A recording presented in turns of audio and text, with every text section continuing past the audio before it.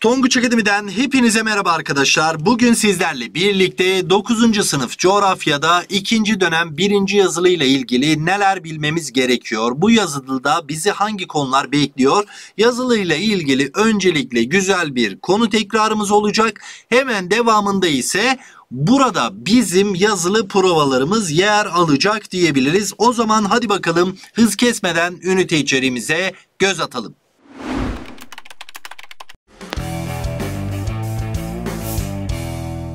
Şimdi burada biz sizler için ne yaptık? Her dönem yaptığımız gibi yazılı notlarını hazırladık. Birinci yazılı, ikinci yazılı hepsiyle ilgili temin edebilirsin güzel yazılıda karşına gelebilecek yerleri kısa kısa net bir şekilde aldığımız güzel bir kitabımız yer almakta.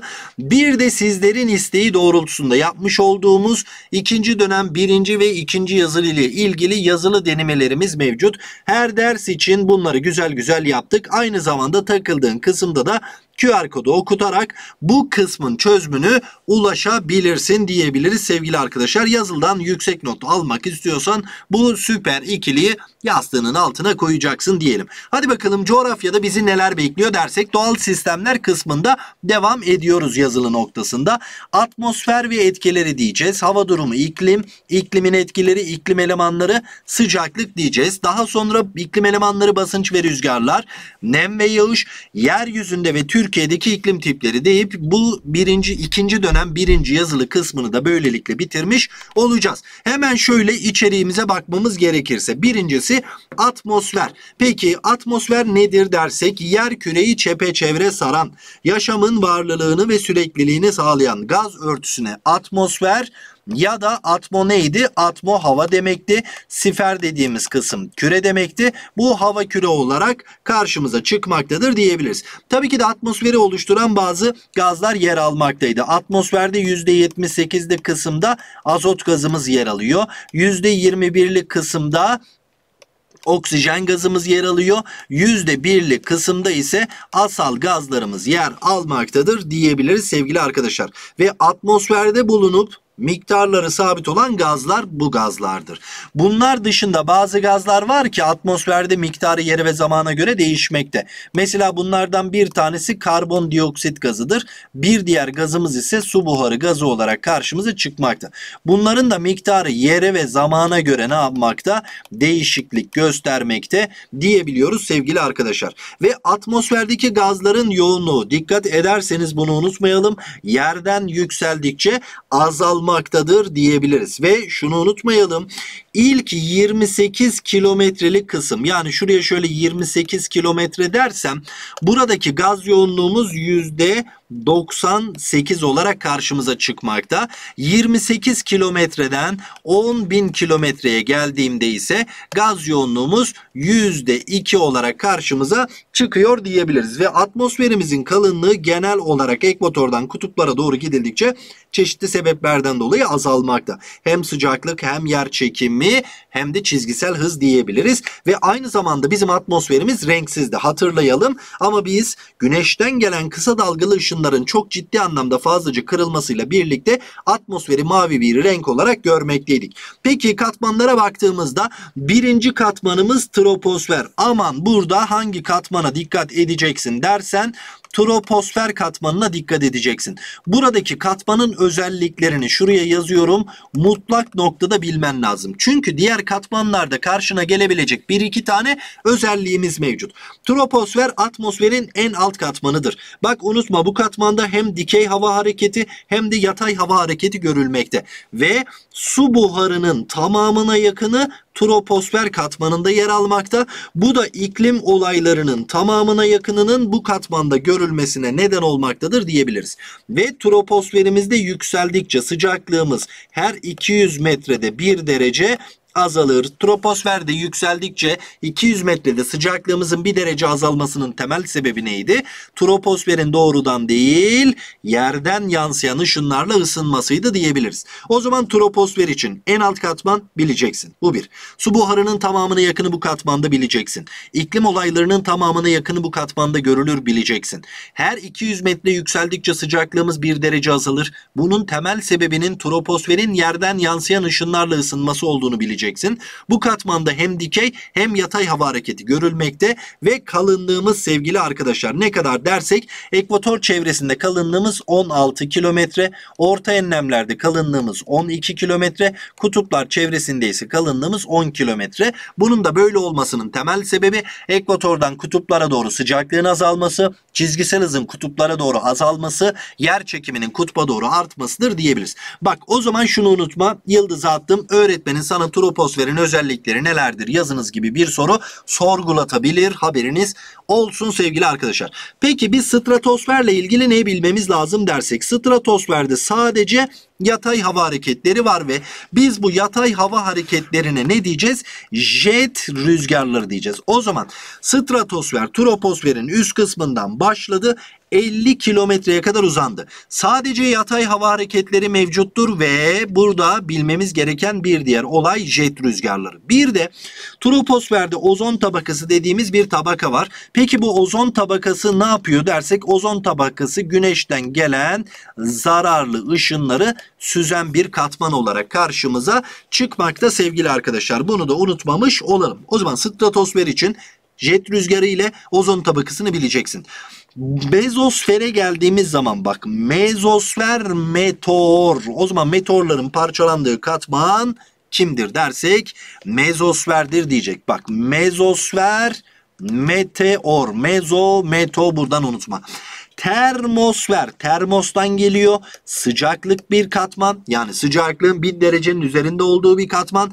Gazlar iyonlarına ayrıldığı için burada iyonosfer katmanı yer almakta ve haberleşme uydularının bazıları bu katmanda yer alıyor. Aynı zamanda kutup aurorası dediğimiz o ışıklar bu katmanda bulunmaktadır diyebiliriz. Egzoz yani en dış katman. Gen kalın katman yoğunluk anlamında en az yoğunluğa sahip katmandır diyebiliriz. Uydularının belirli bir kısmı da bu katmanda yer almaktadır diyebiliyoruz. Aman troposferin özelliklerini unutma. Geldik şimdi hava durumu ve iklim sevgili arkadaşlar. Şimdi şunu unutmayalım. Doğal ortamlarda olduğu gibi atmosferde de çeşitli değişiklikler ister istemez meydana gelir. Yağmur yağabilir, sis oluşabilir, sıcaklık artabilir ve bu olayların, bu değişimlerin tamamına biz hava olayları diyoruz. Yani bunlar nerelerde görülüyormuş? Atmosferde görülüyormuş diyebiliriz. Ve yaşanan hava olaylarının önemli bir kısmı nerede görülüyor derse sana troposfer katmanında görülüyor. Peki neden bu hava olayları troposfer katmanında görülüyor dersek çünkü su buharının tamamına yakını %99,9'luk kısmı bu katmanda yer almaktadır diyebiliriz. Burada bizim karşılaştırmamız gereken iki tane kavram var. Hava durumu dar bir alanda etkili olan kısa süreli hava olayları. Bak hava durumu dar bir alanda etkili olan kısa süreli hava olaylarına verdiğimiz isimdir diyebiliriz. Peki iklim nedir dersek hemen şuraya da şöyle iklim diye düzeltelim. İklim ise sevgili arkadaşlar geniş bir alanda etkili olan uzun yıllar boyuncaki hava olaylarının ortalamasıdır. Bak hava durumunun değişkenliği kısadır kısa süre içerisinde değişebilir ama iklimin değişkenliği uzundur. Ve şunu unutmayalım. Biz hava durumunu meteoroloji dediğimiz bilim dalı ile inceleriz. İklimi ise klimatoloji dediğimiz bilim dalı ile inceleriz. Hava durumunu nasıl tarif edersin? Ya bugün hava çok sıcak. Yarın hava sıcaklığı 25 derece olacakmış. Ya da hafta sonu hava soğuyacak ve kar yağışları etkili olacakmış diyebilirsin. Ama iklimi tarif ederken Adana'da kış ayları yağışlı geçer. Bak yağışlı geçer diyor. Önceden de yağışlıymış, şimdi de yağışlı, sonra da yağışlı olacaktır. Ya da Erzurum'da yaz ayları kısa ve serin geçer. Bak Önceden de böyle, şimdi de böyle, sonradan da böyle olacak. Ekvatoral bölgede her mevsim sıcak ve yağışlı geçer. Gene genel bir ifade kullandık. Burada unutmayalım önemlidir. Şimdi geledik burada iklim elemanlarına. İklim elemanlarından birincisi nedir dersek sıcaklıktır. Peki yeryüzüne baktığımda sıcaklık her yerde aynı mı? Değil. Tabii ki de sıcaklığı bu noktada etkileyen bazı durumlar var değil mi? Ve bu durumlara baktığımız zaman güneş ışınlarının yere düşme açısı sıcaklığı etkilemekte. Peki güneş ışınlarının geliş açısını kim etkiliyor? Enlem etkisi etkiliyor eşittir. Buna biz dünyanın şekli diyeceğiz. Yani enlem etkisine bağlı olarak ekvatordan kutuplara doğru gidildikçe güneş ışınlarının geliş açısı daralır. Bu da sıcaklığın azalmasına neden olmaktadır. Günlük hareket dediğimiz eksen hareketidir ve eksen hareketine bağlı olarak bir gün içerisinde güneş ışınlarının geliş açısı değişir. Bu da gün içinde sıcaklığın değişmesine neden olmakta. Eksen eğikliği dediğimiz ise dünyanın yıllık hareketidir ve bir yıl içerisinde güneş ışınlarının geliş açısı farklılık göstermekte. Bu da yıl içinde sıcaklığın değişmesine neden olmakta. Yer şekilleri kısmında eğim ve bakı. Bakı güneşe dönük olan yamaçtır ve güneşe dönük olan yamaç güneş ışınlarını daha dik açıyla aldığı için sıcaklık diğer yamaca göre daha yüksektir diyebiliriz. Güneşlenme süresi ne kadar artarsa sıcaklığımız o kadar artacaktır. Yükselti arttıkça sıcaklığımız azalır. Bu şundan dolayıdır. Şöyle bir dağlık alan çizersek biz bir dağ yamacı boyunca yükseldiğimizde her 200 metre yükseldikçe sıcaklığımız 1 derece azalır. Bunun temel sebebi nedir dersek bizim troposferimiz doğrudan değil yere çarpıp yerden yansıyan ışınlarla ısındığı için yükseldikçe her 200 metrede sıcaklığımız 1 derece azalmaktadır diyebiliriz. Kara ve denizlerin dağılımı ve ısınma farkı dediğinde şunu unutmayalım. Burada bize yarım küreleri kıyaslatacaktır. Yani diyecek ki kuzey yarım küre güney yarım küreye göre şu tarihte daha sıcak. Yıllık sıcaklık ortalaması kuzey yarım kürede daha yüksek güney yarım küreye göre ya da meridyenlerin en sıcak noktalarını birleştirmemizle elde ettiğimiz bir eğri vardı. Termik ekvator daha çok kuzey yarım küreden geçer diyorsa yani yarım küreleri kıyasla anlatıyorsa kara ve denizlerin ısınma farkı ve dağılımı diyeceğiz sevgili arkadaşlar. Bununla birlikte okyanus akıntıları özellikle sıcaklığın enleme uygun bir şekilde artıp ya da azalmasını etkiler diyebiliriz tamam mı? Yani nasıl dersek şimdi ben şuraya şöyle bir Latin Amerika çizersem yani Güney Amerika'yı şöyle göstermemiz gerekirse. Güney Amerika'da mesela şurada bir A noktası olsun şurada da bir B noktası olsun. Şimdi bu A ve B'nin ortak özelliği nedir dersek bu A ve B tahmini olarak aynı enlem üzerinde yer almaktadır diyebiliriz. Ama sıcaklık ortalamalarına baktığımızda A'da sıcaklık ortalaması 15 derece iken B'de sıcaklık ortalaması 22 derece olabilir. Peki aynı enlemde yer almasına rağmen A'nın B'den daha soğuk olmasının temel sebebi nedir derse hemen burada okyanus akıntılarını dahil etmemiz lazım.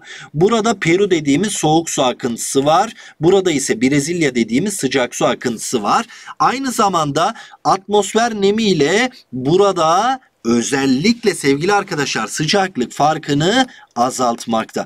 Yani bir yerde nem miktarı ne kadar fazla ise hem günlük hem yıllık sıcaklık farkları o kadar azdır. Rüzgarlar ekvatordan gelirse sıcaklığı artırır, kutuptan gelirse sıcaklığı azaltacaktır. Şunu unutma atmosfer nemindeki etkiyle bitki örtüsündeki etki ikisi aynı olacaktır. Yani ikisinde de sıcaklık farkı azalacaktır diyebiliriz. Hemen şöyle görsellerden de göstermemiz gerekirse. Bakın dikkat edin sevgili arkadaşlar. Ekvatora güneş ışınları daha dik açıyla, kutuplara ise güneş ışınları daha eğik açıyla gelmekte. Bu ekvatorun daha sıcak, kutupların ise daha soğuk olmasına neden olmaktadır diyebiliriz. O zaman bize verilen bir ifadede ekvatordan kutuplara doğru gidildikçe sıcaklığımız azalır diyorsa bu enlem etkisiyle açıklayabileceğimiz bir durumdur. Mesela burada örnek vermemiz gerekirse Nijerya'da sıcaklığın yıl boyunca Türkiye'den yüksek olması ya da Türkiye'de sıcaklığın yıl boyunca Norveç'ten yüksek olması enlem etkisiyle açıklayabileceğimiz durumlardır diyebiliriz tamam mı? Bana eğer ki yıllık hareketle ilgili bir ifade verirse bir yarım küre yaz mevsimini yaşarken diğer yarım küre kış mevsimini yaşar. Şöyle örnek verebilir. 21 Haziran tarihinde kuzey yarım küre güney yarım küreye göre daha sıcaktır der. Neden? Çünkü 21 Haziran tarihinde kuzey yarım kürede yaz, güney yarım kürede kış mevsimi yaşanmakta. Bu eksen eğikliği ile ilgili bir durumdur diyebiliriz. Tamam mı? Yıllık hareket. Hemen devamına geldiğimde ise burada sabah öğle ve akşam saatlerinde güneşin farklı açılarla geldiğini görebilmekteyim. Eğer ki bana bir gün içerisinde güneşin eğik, daha dik eğik açıyla gelmesi ve buna bağlı olarak sıcaklığın değişmesi diyorsa gün içerisinde dediği için bu eksen hareketi olarak karşımıza çıkmakta sevgili arkadaşlar. Isı birikimi ne kadar artarsa sıcaklığımız o kadar artar. Burada da şunu unutmayalım. Bakın Güneşlenme süresi kutuplarda 6 ay olabilir. Yani 6 ay gündüz 6 ay gece yaşayabilir kutuplar. Şimdi kuzey kutup noktasına baktığımızda 6 ay gündüzü yaşadığında güneşlenme süresi fazla mı? Fazla. E, bu ister istemez ısı birikiminin de fazla sıcaklığında fazla olması demektir. Ancak şunu unutmayalım. Kutuplara güneş ışınları eğik açıyla geldiği için güneşlenme süresi ne kadar yüksek olursa olsun bu alanda sıcaklığımız düşük olacaktır. Bunu unutmayalım. Eğer ki bir rüzgar kutuptan ekvatora doğru geliyorsa bak kutuptan ekvatora doğru geliyorsa sıcaklığı azaltır. Ekvatordan kutuplara doğru gidiyorsa da sıcaklığı artırır diyebiliriz. Okyanus akıntıları biraz önce söylemiştik ya mesela şurada bir enlem derecesi çizeyim ve bu enlem derecesi 30 derece güney enlemi olsun. Şurada bir A noktası şurada da bir B noktası belirteyim. İkisi de bak dikkat et okyanus kıyısında.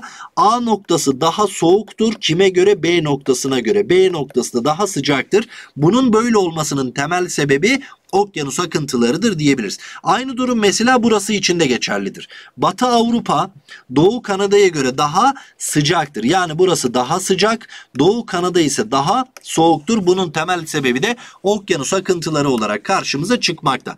Dünyada yıllık sıcaklık dağılışını gösterdiğimiz haritalara biz izoterm haritaları diyeceğiz. İzo dediğimiz şey eş demektir term dediğimiz şey ise sıcaklık demektir. Yani bu eş sıcaklık haritası olarak karşımıza çıkmakta. Ve dünya yıllık ortalama sıcaklık dağılışını gösteren haritaya baktığımızda şurası ekvatordur ama dünyadaki en sıcak yer ekvator değil kuzey yarım küredeki 30 derece enlemleri çevresidir diyebiliriz sevgili arkadaşlar. Bunun temel sebebi nedir dersek bu alandaki nem azlığıdır diyebiliriz. Ve en soğuk yerlerde gene kuzey yarım kürede yer almakta. Bak dikkat et en sıcak yer kuzey yarım kürede mi? En soğuk yer kuzey yarım kürede mi? Kara ve denizlerin dağılımıdır diyebiliriz. Ama şöyle dikkat edersen 20, 10, 0. Güney yarım küre 30, 20, 10, 0, eksi 10 kuzey yarım küre. Yani ben ekvatordan kuzey kutup noktasına, ekvatordan güney kutup noktasına doğru gittiğimde sıcaklığım azaldı.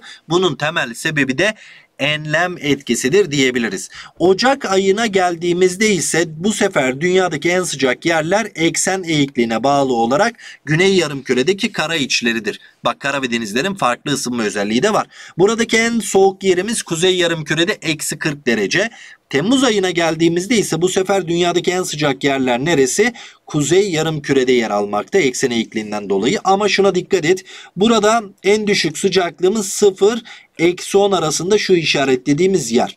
Ama bak burada eksi 10 derece bir sıcaklık vardı ama kuzey yarım kürede eksi 40 derece bir sıcaklık vardı. Bunun temel sebebi de kara ve denizlerin dağılımı. Karasallık denizerlik etkisidir diyebiliriz sevgili arkadaşlar. Peki basınç neydi dersek basınç yeryüzündeki atmosferdeki gazların yeryüzüne yaptığı etkidir. Ve basıncı biz barometre ile ölçeceğiz ve bu ölçtüğümüz basıncı milibar olarak ifade edeceğiz. Peki bu basıncı kim bulmuş dersek basıncı Torricelli dediğimiz İtalyan bilim insanı buluyor. Torricelli 45 derece enleminde deniz seviyesinde ve 15 derece sıcaklıkta 760 milimetre yüksekliğindeki civanın yaptığı basınca normal atmosfer basıncı diyor.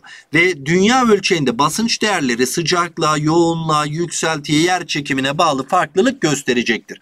Burada bizim için önemli olan olay şudur sevgili arkadaşlar. Bak Sıcaklık arttıkça gazlar genleşip hafifleyip yükselir. Yani sıcak bir yerde gaz yoğunluğumuz böyle olacak. Soğuk olursa gazlar sıklaşır, yoğunlaşır ve alçalır. E nerede yüksek basınç olacak? Soğuk havanın bulunduğu yerde. Nerede alçak basınç var? Sıcak havanın bulunduğu yerde. E o zaman bir yerde hava sıcaksa basınç az, hava soğuksa basınç fazla. Sıcaklık arttı, basınç azaldı, sıcaklık azaldı, basınç arttı. O zaman nasıl bir orantı var dersek ters bir orantı vardır diyebiliriz. Bu sıcaklık basınç arasındaki ilişkidir diyebiliriz. Yükselti arttıkça hemen şöyle şuraya bir dağlık alan çizersek gaz yoğunluğumuz da ister istemez azalacaktır. O yüzden alçak kesimlerde yüksek, yüksek kesimlerde ise alçak basınç var. Bak yükselti arttıkça basınç azaldı mı? Biri artarken biri azalıyorsa ters bir orantı vardır diyebiliriz sevgili arkadaşlar. Peki yoğunluk birinci hava kütlesinde mi fazla ikinci hava kütlesinde mi? Tabii ki de ikinci hava kütlesinde yoğunluk arttıkça basıncımız artacaktır. O zaman burayı da şöyle ne yapıyorum? Doğru bir orantıya alıyorum. Dünyanın şekline bağlı olarak ekvatorda yer çekimi daha az, kutuplara doğru gidildikçe yer çekimi artıyor. E, yer çekiminin fazla olduğu yerde gaz yoğunluğu daha fazla olacak. Yer çekiminin az olduğu yerde gaz yoğunluğu daha az olacak. O zaman yer çekimine bağlı kutuplarda yüksek basınç, ekvatorda ise alçak basınç olacaktır. Yer çekimi arttıkça basıncım da artıyorsa nasıl bir orantı var dersek doğru bir orantı vardır diyebiliriz. Buraya şöyle yıldız atıyorum. Öğretmenin basınçla bunlar arasındaki ilişkiyi sana sorgulatabilir haberiniz olsun. Tamam mı çocuklar? Şimdi dünyada sürekli basınç kuşakları vardı. Peki bunlar neydi dersek hemen şöyle bunu şurada silip göstermemiz gerekirse zaten ders anlatımlarında da bunu kolay bir şekilde ne yapmıştık? Şöyle yapmıştık hatırlayın yaya demiştik değil mi? Ve burada yüksek basınç vardı. Burada alçak basınç, burada yüksek basınç, burada alçak basınç vardı. Hemen şöyle devam ediyordum. Şu sıfırdı, şu 30'du, şu 60'tı. Şu da 90'dı sevgili arkadaşlar. Bak 0, 30, 60, 90. 0'da termik, 30'da dinamik, 60'da dinamik, 90'da termik basınç vardı. Şimdi sevgili arkadaşlar bak bunu unutmayın. Bana öğretmen dünyadaki sürekli basınç kuşaklarını çizerek açıklayınız derse hemen bir dünya haritası çiziyorsun. Ekvatoru gösteriyorsun. 30'ar 30'ar artırıyorsun. 30, 60, 90 derece diyorsun. Sonra sıfırdan başlayıp ya da 90'dan yukarıdan başlayıp şöyle yaya diye yazıyorsun. Aynı şeyi aşağı içinde şöyle geçiriyorsun yaya diye. O köşelere ekvator çevrelerine termikleri koyuyorsun. Orta enlemleri ise dinamikleri koyuyorsun. Bunu da unutmamış olalım. Yaya bizim bu noktada işimizi kolaylaştıracaktır. Rüzgarlar ise ne yapar dersek? Rüzgarlar yüksek basınç alanından alçak basınç alanına hareket eden yatay hava hareketidir. Peki bir yerde rüzgarın hızını etkileyen faktörler var mıdır dersek tabii ki de var. Hızı etkileyen faktörler birincisi basınç farkı. Yani bana bir izobar haritası ver verdiğinde basınç farkı ne kadar fazlaysa rüzgarımız o kadar hızlıdır. Aynı şekilde ikinci hızı etkileyen basınç merkezleri arasındaki mesafeydi. Basınç farkı aynı olan rüzgarlarda mesafe ne kadar fazlaysa rüzgarımız o kadar yavaştı ve yer şekilleri yer şekillerinin engebeli olduğu yerlerde hızımız az, düz olduğu alanlarda ise hızımız fazlaydı. Bir de dünyanın eksen hareketi yani dinamik faktörler rüzgarımızın hızını etkilemekteydi diyebiliriz diyebiliriz. Bir de rüzgarın yönünü etkileyen faktörler vardı. Bunların başında ne gelecektir dersek dinamik faktörler gelecek. Rüzgarlar kuzey yarım kürede sağa doğru sapacaktır. Güney yarım kürede ise sola doğru sapacaktır. Bunun temel sebebi de dünyanın kendi ekseni etrafında batıdan doğuya doğru dönmesidir diyebiliriz sevgili arkadaşlar. Yönü etkileyen bir diğer durum nedir dersek yönü etkileyen bir diğer durum dinamik faktörlerden sonra yer şeklidir diyebiliriz sevgili arkadaşlar. Nasıl dediğimizde burada özellikle rüzgarlar yer şekillerine uygun bir şekilde hareket edecek. Bir de basınç merkezlerinin yönü basınç merkezlerinin yer değiştirmesi, basınç merkezlerinin konumu diyebiliriz sevgili arkadaşlar. Bunu da unutmayalım. Peki biz dünyada rüzgarları kaça ayıracağız? Dörde. Birincisi sürekli rüzgarlar dediğimizde bunlar geniş alanda etkili olan rüzgarlardır. Ve sürekli basınç kuşakları arasında hareket eden rüzgarlardır. O zaman burada dur. Bizim bu sürekli basınç kuşağımız neydi? Yaya değil miydi? Yayayı yazıyorsun. Yüksek basınç, alçak basınç, yüksek basınç, alçak basınç dedin. E şuraya geldin 90 derece enlemi, şuraya geldin 60 derece enlemi, şuraya geldin 30 derece enlemi, şuraya da geldin 0 derece enlemi. E, uçlar termik basınçlardı, aradakiler dinamik basınçlardı. O zaman benim bu sürekli rüzgarlarım, bu sürekli basınç kuşakları arasında esiyorsa ve benim rüzgarım da yüksek basınçtan alçak basınca gidiyorsa, bak dikkat et 30 derece enleminden 0 derece enlemine bir rüzgar gelecek ve biz bu rüzgara ne diyeceğiz? Alize rüzgarı diyeceğiz. Aynı şekilde devam ediyorum. 30 derece enleminden 60 derece enlemine bir rüzgar gelecek. Biz bu rüzgara batı rüzgarı diyeceğiz ve son 90 derece enleminden 60 derece enlemine bir rüzgar gelecek. Biz bu rüzgara da kutup rüzgarı diyeceğiz. Hangisi ekvatoral kuşakta etkili? Alize. Hangisi kutup kuşağında etkili? Kutup. Hangisi orta enlemlerde etkili? Batı. Hangisi Türkiye'de etkili? Batı rüzgarı diyebiliriz tamam mı? Bir de ekvatorda sıfırdan 30'a giden bir rüzgarımız var. Bakın dikkat edin Alize'nin tam tersi yönünde. Bu rüzgara da ne diyorduk biz? ters alize rüzgarı diyorduk ve unutmayalım 30 derece enleminde çöl iklimlerinin oluşmasında etkilidir. Mevsimlik rüzgarlar ise eksen eğikliğine bağlı yıl içinde yön değiştiren rüzgarlardır. Bunlar kara ve denizlerin farklı ısınma özelliğine göre yer değiştirir. Bunlar özellikle Güneydoğu Asya'da, Hindistan ve çevresinde yön, yön değiştirir. Kim var burada dersek yaz musonu var. Bir de arkadaşlar kış musonu var. Şunu unutmayalım. Yaz musonu Hint yarımadasına estiği için yağışlı, kış musonu Hint okyanusuna estiği için güneşlidir diyebiliriz ve bu rüzgar o alanda muson ikliminin oluşmasında etkili. Yerel rüzgarlar dar alanda etkili olan rüzgarlardır. Meltemler kara ve denizin, dağ ile vadinin farklı ısınma özelliğine göre yön değiştiren rüzgarlardır. Meltemlerde şunu unutma, nereden geliyorsa geldiği yerin ismi yüksek basınçtır. Mesela deniz meltemi diyoruz ya deniz yüksek basınçmış. Kara meltemi dediğimizde de kara melteminde kara yüksek basınç, dağ melteminde dağ yüksek basınç, vadi melteminde de vadi yüksek basınçtır diyebiliriz. Oradan çıkar, çıkarabilirsiniz. Bir de Akdeniz çevresinde etkili olan sıcak ve soğuk karakterli yerel rüzgarlar var. Bak Bora, Mistral, Kırvest, Akdeniz çevresinde etkili olan soğuk karakterli, Fön, Hamsin, Sirocco bunlar da Akdeniz çevresinde o etkili olan sıcak karakterli yerel rüzgarlardır diyebiliriz. Bir de tropikal rüzgarlarımız vardı. Bunlar da ekvatoral kuşakta etkili olan saatteki hızları 60 kilometreden başlayıp 300 kilometreye kadar ulaşan yıkıcı etkisinin yüksek olduğu rüzgarlardır diyebiliriz sevgili arkadaşlar. Geldik şimdi nemlilik ve yağış. Nedir nem? Atmosferdeki su buharı miktarına biz nem diyoruz. Nemi biz 3 şekilde ifade etmekteyiz. Mutlak nem, maksimum nem ve bağıl nem olarak geçmekte sevgili arkadaşlar. Mutlak nem o anda var olan nem miktarıdır. Yani 1 metreküp havanın içerisinde o anda var olan nem miktarıdır. Maksimum nem ise 1 metreküp havanın belirli bir sıcaklıkta taşıyabileceği en fazla nem miktarıdır. Bağıl nem ise o hava kütlesinin doluluk oranı olarak karşımıza çıkmakta. Mesela Mesela burada göstermiş. Benim elimde bir kabım var. Kabın 10 litrelik kısmı diyelim su ile dolu. Kabımız 20 litre alsın. O zaman burada var olan bu 10 litre ya biz bu 10 litreye mutlak nem diyeceğiz. Kap ne kadar bir su alıyor? 20 litrelik bir su alıyor. Bu kabın tamamı da maksimum nem. Peki kabın ne kadarı dolu? Yarısı. Yani %50'lik kısmı dolu. %50'lik kısmına da biz bağıl nem diyoruz sevgili arkadaşlar. Bunu unutmayalım.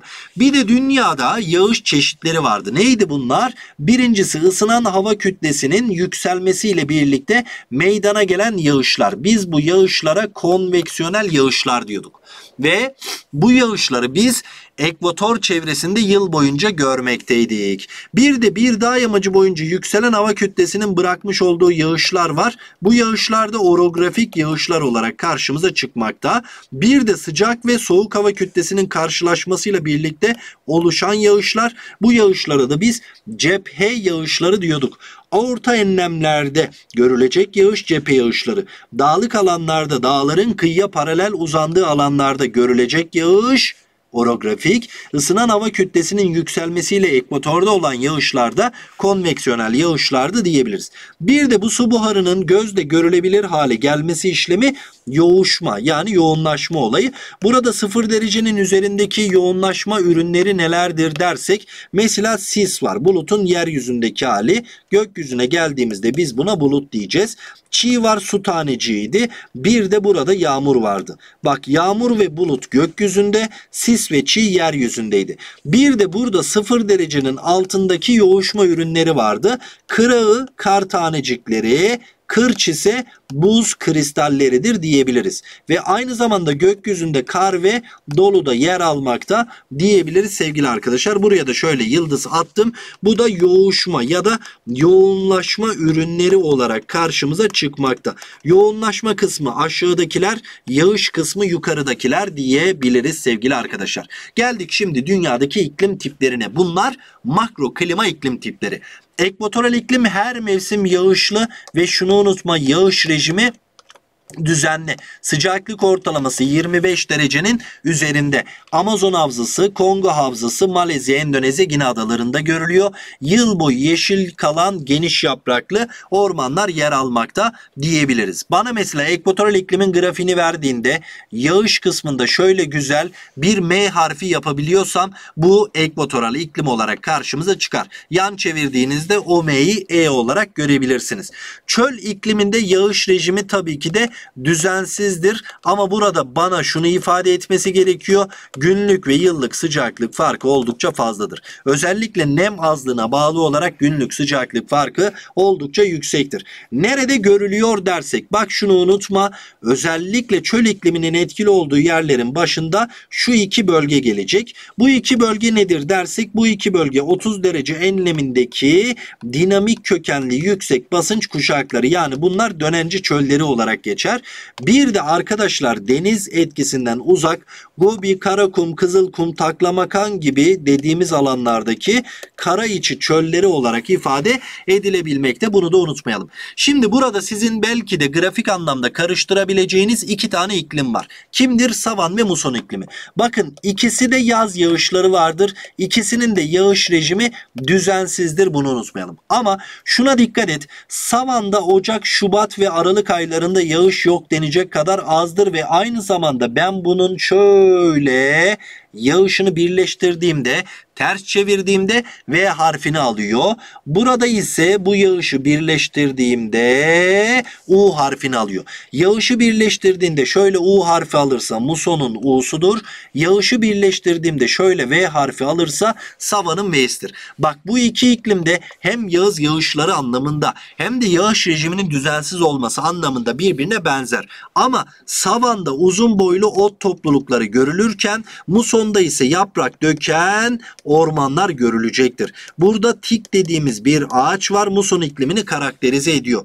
Güney, Güneydoğu, Doğu Asya muson iklimi 10-20 derece enlemlerinde alan bulunan yerler ise savan iklimini oluşturmakta. Savan iklimi de zaten belgesellerin çekildiği iklim bölgesi olarak karşımıza çıkmakta diyebiliriz. Bunun dışında Akdeniz iklimi yazları sıcak ve kurak. Bak yazları kurak, kışları ılık ve yağışlıdır. 30-40 derece enlemlerinde Akdeniz çevresi Güney Afrika Cumhuriyeti sağa doğru gittim Avustralya'nın güney güneybatı uç kısımları sola doğru gittim Şili'nin ortası sola doğru gittim Kaliforniya bölgesi. Buradaki bitki örtüsü neydi hatırlayalım kızılçam ve maki türleri yer almakta diyebiliriz. Bunlara biz bodur, ağaç ve çalılar diyoruz. Okyanusal iklim ekvatoral iklime benzer yağış rejimi anlamında düzenli yağış rejimine sahiptir ve bu iklim bölgesindeki en yağışlı dönem sonbahar dönemi. Akdeniz iklim bölgesinde en yağışlı dönem kış dönemidir. Bunu da unutmayalım. Batı Avrupa, ABD'nin güneydoğu ve kuzeybatı kısımları,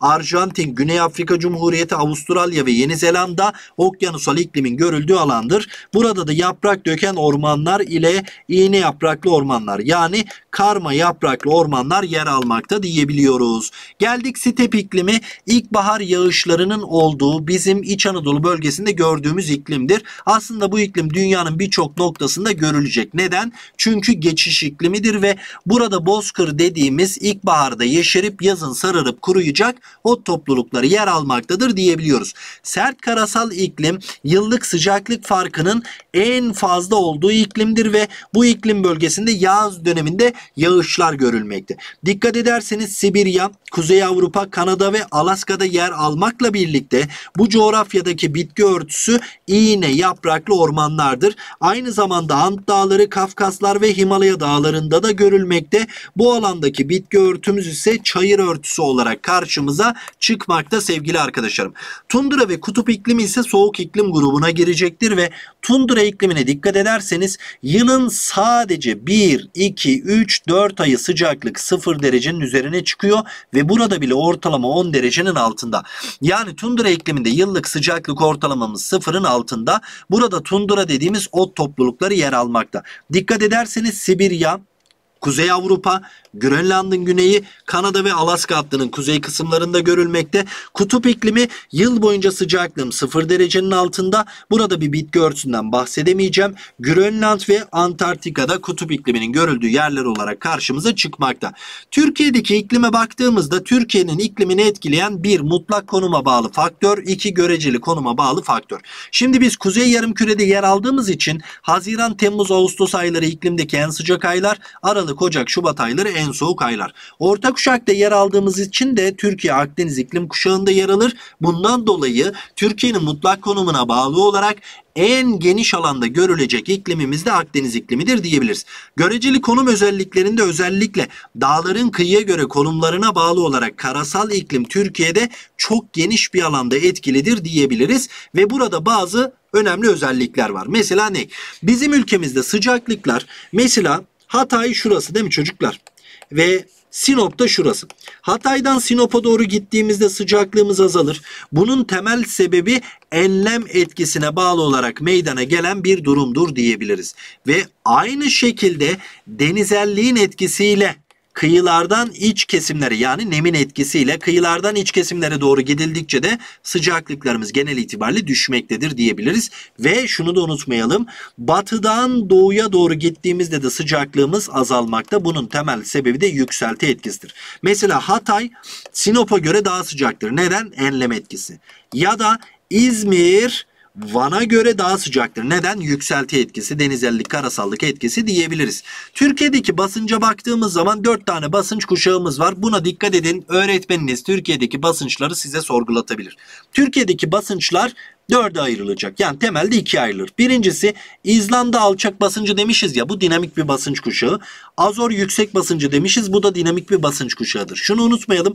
Dinamik basınç kuşakları bizim ülkemizde yıl boyunca etkilidir ama daha çok diyeceğiz. Nasıl? Şimdi İzlanda dinamik alçak basıncı yıl boyu etkili ama daha çok kışın etkilidir. Etkili olduğunda yağışlı geçmesine neden olur. Azor dinamik yüksek basıncı yıl boyu etkilidir ama daha çok yazın etkilidir. Etkili olduğunda sıcak ve kuraklığın olmasına neden olacaktır. Ama şunu unutmayalım. Sibirya termik yüksek basıncı ile Basra termik alçak basıncı bizim ülkemizde mevsimsel bazlı. Yani termik basınçlar ise bizim ülkemizde mevsimsel bazlı etkilidir. Nasıl dersek Sibirya termik yüksek basıncı kış döneminde, Basra termik alçak basıncı yaz döneminde etkilidir diyebiliriz. Türkiye'deki rüzgarları biz soğuk ve sıcak karakterli olmak üzere ikiye ayıracağız. Kuzeyden etkili olan rüzgarlar soğuk karakterli yerel rüzgarlar, güneyden etkili olanlar ise sıcak karakterli yerel rüzgarlar olarak karşımıza çıkmakta. Peki bunu nasıl kodlayacağız dersek bunu şöyle kodlayacağız. Kayıp diyeceğiz. Devamında sakal diyeceğiz sevgili dostlar. Karayel, yıldız, poyraz, soğuk karakterli, samyeli, keşişleme, kıble, lodos sıcak karakterli yerel rüzgarlardır. Buna da dikkat edin öğretmeniniz soru anlamda bunu sorgulatabilir. Bizim ülkemizde kıyılarda nem miktarı iç kesimlere göre tabii ki de denizellik etkisine göre daha fazladır. Nemin az olduğu yerlerden bir tanesi Güneydoğu Anadolu, bir tanesi İç Anadolu, bir tanesi de Iğdır çevresidir diyebiliriz. Bir de bizim ülkemizde yağışlar vardı. Konveksiyonel yani ısınan havanın yükselmesiyle birlikte etkili olan yağışlar İç Anadolu bölgesi, bölgesi, Doğu Anadolu bölgesi ve Güneydoğu Anadolu bölgesinde etkili. İç Anadolu'da ilkbahar döneminde, Güneydoğu Anadolu'da ilkbahar döneminde, Doğu Anadolu'da yaz döneminde etkilidir diyebiliriz. Yamaç yağışları dağların kıyıya paralel uzandığı kuzey ve güneyde görülecek yağıştır diyebiliriz. Cephe yağışları ise farklı iki hava kütlesinin karşılaştığı yağışlar. Bu yağışları da Akdeniz iklim bölgesinde özellikle kış döneminde göreceğiz diyebiliriz. Bak burada da Türkiye'deki iklimle ilgili olayı şöyle rahat bir şekilde yapabilirsin. Eşref'in E'sini çizersin. İç bölgeden başlarsın. İlkbahar dersin. Köşeye gelirsin yaz. Kuzeye çıkarsın sonbahar. Ege ve Akdeniz'e de şöyle kış kış yaparsın. Bu bölgelere göre yağışın en fazla düştüğü dönemdir. Yani iklimlerde yağışın en fazla düştüğü dönemdir. E şimdi biz İç Anadolu bölgesindeki karasal iklimde en yağışlı dönem ilkbahar. Kuzeydoğu Anadolu tipi karasal iklimde en yağışlı dönem yaz. Karadeniz ikliminde en yağışlı dönem sonbahar. Akdeniz ikliminde en yağışlı dönemin kış olduğunu bileceğiz. Buradan rahat bir şekilde ne yapabiliriz? Yapabiliriz. Şunu unutma. Akdeniz iklimi orta kuşakta olmamızın sonucudur. Karadeniz iklimi özellikle dağların kıyıya paralel uzanmasının sonucudur. Karasal iklim gene dağların kıyıya paralel uzanmasının sonucudur. Sert karasal iklim dediğimiz Kuzeydoğu Anadolu tipi karasal iklim ise yükseltinin bir sonucudur ve iklim çeşitliliğinin en fazla olduğu alanımızın da Marmara olduğunu unutmayalım sevgili arkadaşlar. Şimdi geldik sorular kısmına. Birinci sorumuz önemli. Bence bu soru karşınıza sınavda gelecek. Diyecek ki troposfer katmanının özelliklerinden dört tanesini yazın. Bir, diyeceksin ki troposfer katmanı atmosferin en alt katmanıdır diyeceksin. Bunu zaten biliyoruz. En alt kısımdaydı. Onun dışında kalınlığı her yerde aynı değil. Şöyle yazıyorsun. Diyorsun ki kalınlığı 0 derece enlemi dediğimiz ekvatorda 16 kilometre, 45 derece enlemi dediğimiz orta enlemlerde 12 kilometre, 90 derece enlemi dediğimiz kutuplarda ise 10 kilometre aralığındadır diyebiliriz. Bazen de bana burada soruyu buradaki gibi sorabilir. Der ki troposfer her yerde aynı kalınlığa sahip değil. Bunun temel sebebi nedir? Açıklayınız der. Bir, sıcaklığın ekvatordan kutuplara doğru gidildikçe azalması. Yer çekiminin ekvatordan kutuplara doğru gidildikçe artması. Çizgisel hızın kutuplara doğru gidildikçe azalması troposferin farklı kalınlıkta olmasına neden olmuştur diyebiliriz. Bir de burada ne önemliydi? Su buharının tamamına yakını hemen şöyle şuraya da yazalım. Tamamına yakını bu katmanda yer almakta. Su buharının tamamına yakınının bu katmanda olmasının en önemli özelliği nedir dersek iklim olaylarının tamamına yakını gene nerede görülüyor?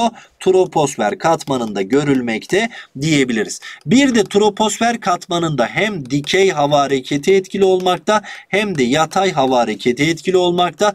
Bir de troposferde yerden yükseldikçe her 200 metrede sıcaklığımız ne yapmakta? 1 derece azalmakta diyebiliriz. Bunun peki temel sebebi nedir derse sana troposferin doğrudan değil yerden yansıma ile ısınmasıdır diyebiliriz. Bu da görmüş olduğunuz üzere senaryo 2'ye ait bir sorudur diyebiliriz. Yani öğretmeniniz size senaryo 2'den soracağım dediyse böyle bir sorunun karşına gelme ihtimali oldukça yüksek. Şimdi geldik sevgili dostlar bir diğer soru. Bak bu senaryo 1 ve 2'nin sorusu ama oldukça önemli bir soru. Çünkü böyle bir soru karşına bence gelir. Dünyadaki okyanus akıntılarını verecek ve bu okyanus akıntıları sıcak mı soğuk mu isimlerini yazınız diyecek. Hemen şurada bir numaralı okyanus akıntısından başlıyorum. Bak bir numaralı okyanus akıntısı bu. Bir numaralı okyanus akıntısı orada Alaska var. Alaska bu soğuk mu sıcak mı derseniz ekvatordan kutba doğru gittiği için sıcaktır diyebiliriz. Hemen onun alt kısmında 2 numaralı okyanus akıntısı var.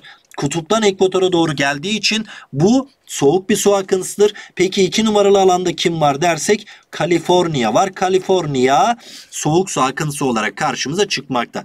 3 numaraya geldiğimde kutuptan ekvatora doğru geldi mi? Geldi. O zaman bu soğuk su akıntısıdır. Peru soğuk su akıntısı olarak geçer. Bak zaten burada Peru var. Burada Kaliforniya var. Burada da Alaska var. Oradan çıkarabilirsiniz. Hemen 4 numaraya geldiğimde 4 numara ekvatordan kutba doğru gitmiş. E, 4 numaranın olduğu yerde Brezilya var. E, Brezilya sıcak bir yer. O zaman burası da sıcak su akıntısıdır diyebiliriz. Hemen şöyle 5 numaraya doğru geleceğim. 6'yı 7'yi de çizeceğim. Bak 5 numara oldukça önemli. Nedir 5 numara? Batı Avrupa'ya doğru geliyor. Bu kimdir? Sıcak bir su akıntısıdır. Bu Gulf Stream sıcak su akıntısı. Adını unut. Bu Gulf Stream sıcak su akıntısını unutma. Şuraya geliyorum. Burada kim var dersek Grönland var. 6 numara soğuk bir su akıntısı Doğu Grönland soğuk su akıntısı olarak karşımıza çıkmakta. 7 numara Kanada'nın doğu kıyılarının daha soğuk olmasına sebebiyet veren bir su akıntısıdır. Peki bu 7 numara kimdir dersek Labrador soğuk su akıntısı diyebiliriz sevgili arkadaşlar. Hemen şöyle 8'e geldim. 8 numaralı yerde Kanarya adaları var. Kanarya soğuk su akıntısıdır çünkü ekvatora geliyor. 9 numaraya geldim. Namibya'nın bulunduğu yerde yer alacak. Benguela sıcak mı soğuk mu derseniz soğuk su akıntısı. 10 numaraya geliyorum. Burada Mozambik kanalı var ve Madagaskar'da yer almakta. Madagaskar ekvatordan kutba doğru gittiği için sıcak su akıntısı olarak karşımıza çıkmakta sevgili arkadaşlar. Bak bunu unutmayalım. Buradaki okyanus akıntılarını sorar. Mesela şurada sıcak olduğu için kuruttu. Kuroshio sıcak su akıntısı. Burada da soğuk bir soğuk su akıntısı var. Bu da Oyashio soğuk su akıntısı olarak karşımıza çıkmakta sevgili dostlar. Hava durumu ile iklim arasındaki o özellikleri karşılaştırmamız gerekirse nedir bunlar dersek hemen şurada karşılaştıralım. Hava durumu iklim.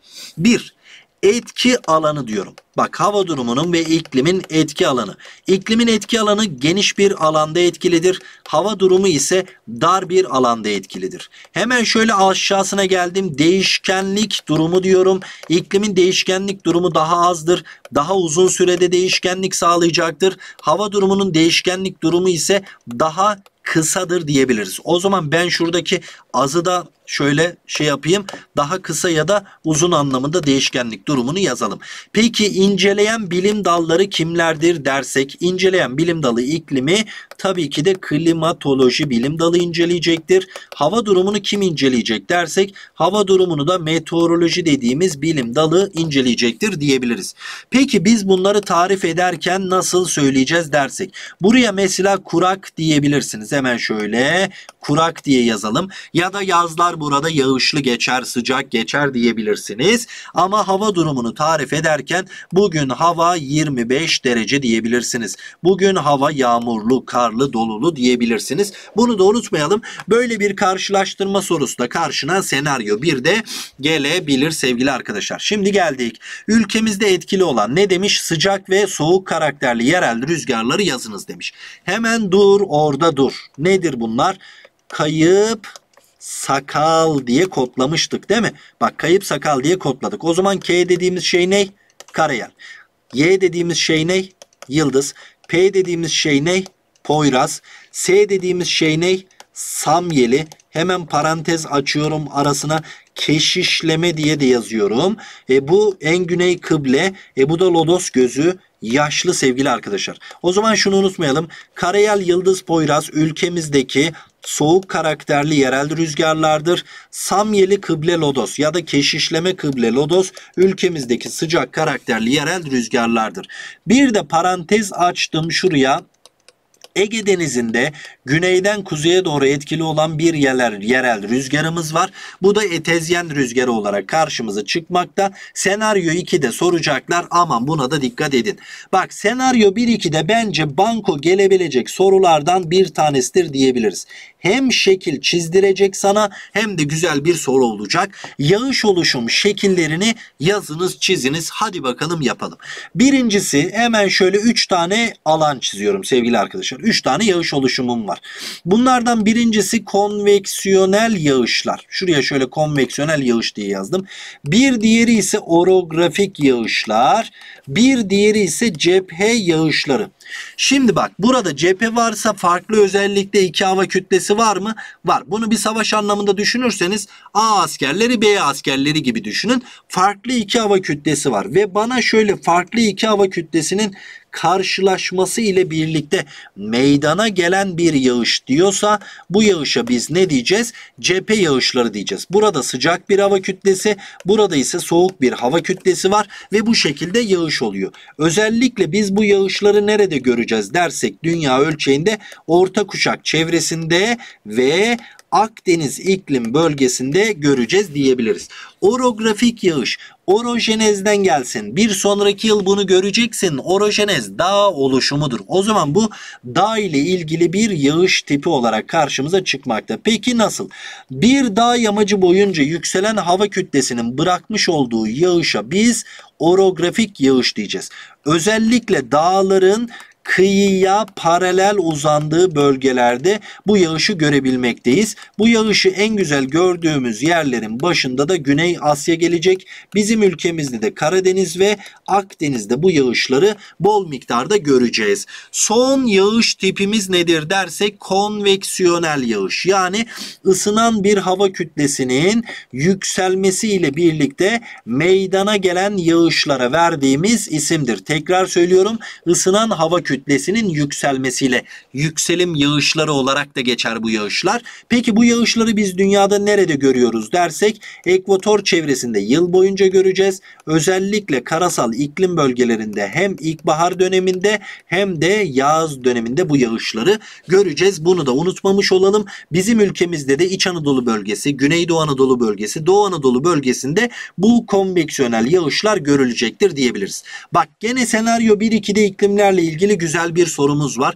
Ekvatoral, savan, Akdeniz, sert karasal, ılıman okyanusal, ılıman karasal bunlarda görülen bitki türlerini yazınız demiş. Şimdi ekvatoral iklim her mevsimi yağışlı bir iklimdi. Sıcaklık ortalaması yüksek ve buradaki bitki örtüsü yıl boyu yeşil kalan nedir arkadaşlar? Geniş yapraklı ormanlardır. Bunu unutmayalım. Bu gitti. Savan iklimine geldiğimizde aman kimle karıştırmayın dedik bu iklimi. Muson'la. İkisinde de yaz yağışları vardı ama savan ikliminde bitki örtüsü olarak ne vardı dersek uzun boylu ot toplulukları var ve şöyle devam edeceksin. Yer yer akasya dediğimiz ağaçlar mevcuttur. Savan dediğimiz alan belgeselleri çektiğimiz yerdir. Bunu da unutmayalım. Savan gitti. Geldik bir diğer iklim tipimiz. Kimmiş? Akdeniz iklimi. Yazları sıcak ve kurak, kışları ılık ve yağışlı bir iklimdir. Burada hem kızılçam ormanları yer almakta, tahribatla birlikte maki türleri yani yıl boyu yeşil kalan bodur, ağaç ve çalı grupları grupları yer alacaktır diyebiliriz. Sert karasala geldiğimizde sert karasal iklim kuzeyde görmüş olduğumuz iklim. Burada iğne yapraklı ormanlar var. Biz bu ormanlara tayga ormanları ya da boreal ormanları diyoruz. Kuzey ormanları diyoruz. Bir de bu sert karasal iklimin dağların yüksek kesimlerinde görüldüğü bölgelerde ise çayır örtüsü yer almaktadır diyebiliriz okyanusal iklim yağış rejimi anlamında ekvatoral iklime benziyordu değil mi? İkisi de her mevsimi yağışlıydı. Peki okyanusal iklimdeki bitki örtüsü nedir dersek okyanusal iklimde karma yapraklı ormanlar özellikle buradaki geniş yapraklı ormanlar e, sonbahar dönemine doğru geldiğimizde ne yapacaktır? Yaprak dökeceklerdir diyebiliriz. O okyanusalı da şöyle çizdim. Ilıman karasal dediği step iklimidir. Bu bozkır bitki örtüsünü gösterecektir bize. Yani burada ne oluyor? İlkbaharda yeşeriyor, yazın sararıp kuruyan ot toplulukları olarak karşımıza çıkacak sevgili arkadaşlar. Geldik gene iki senaryoyu içerisine alan bir sorumuz. Akdeniz ikliminin görüldüğü bölgeleri yazınız.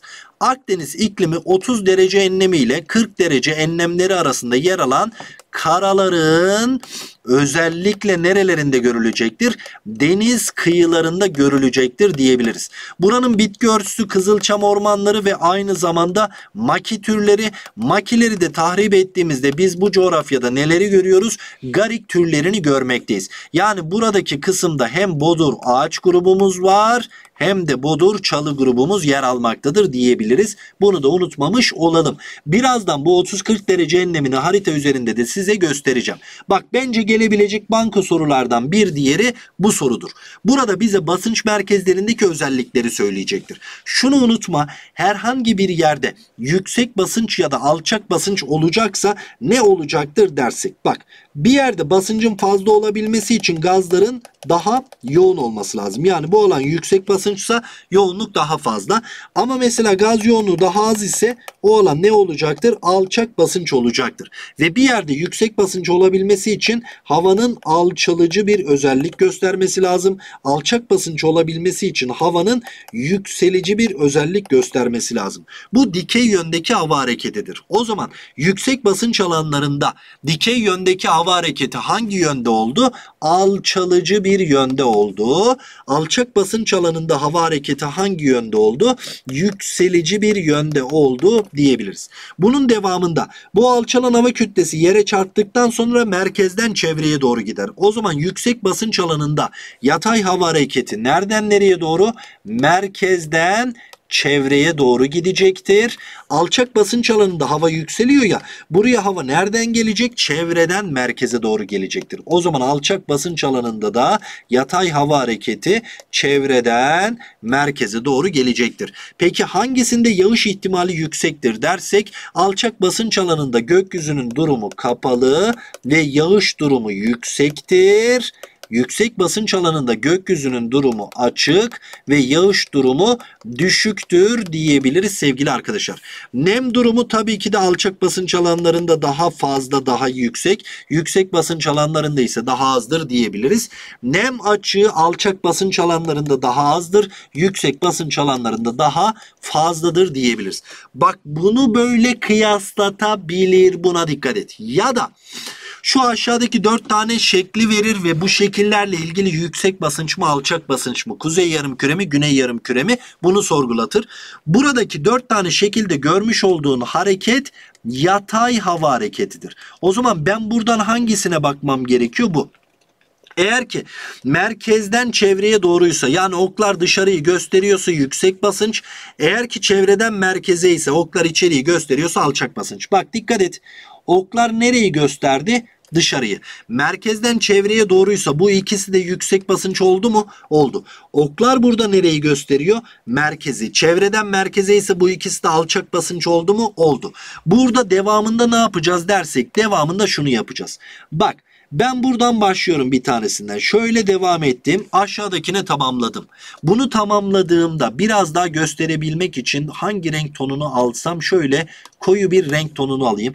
Bak bunu böyle tamamladığımda şurada S harfini oluşturdum ya. S harfini oluşturduysam kuzey yarım küre. Bunu böyle tamamladığımda S'nin tersini oluşturduysam güney yarım küre. O zaman bu kuzey yarım küredeki S olduğu için yüksek basınç alanı. Bu da güney yarım küre S'nin tersi olduğu için alçak basınç alanı. Aynısını buraya için yap.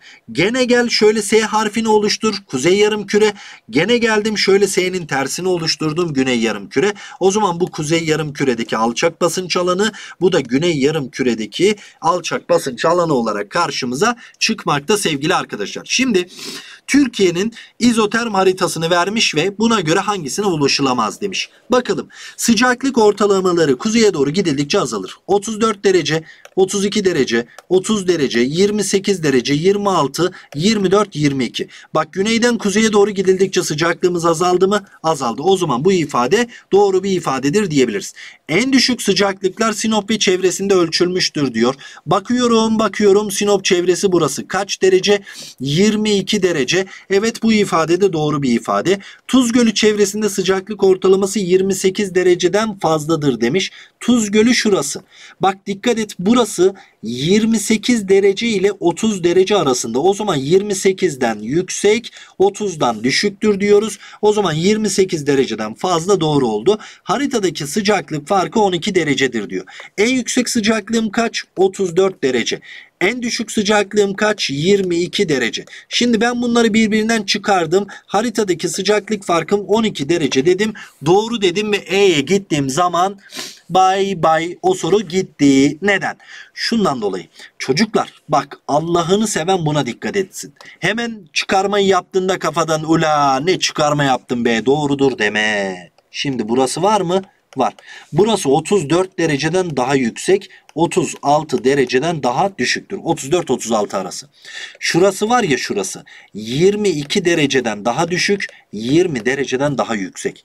E o zaman ben 34 ile 22'nin farkını aldıktan sonra 12 bulduğumda haritadaki sıcaklık farkı 12 dersem yanlış olur. 12 dereceden daha fazla bir sıcaklık farkımız var. O yüzden sorumuzun doğru cevabı D seçeneğidir unutmayalım. En yüksek sıcaklıklar Güneydoğu Anadolu'da ölçülmüş. Ahanda Güneydoğu Anadolu burası en yüksek sıcaklık. Bu da doğru bir ifade.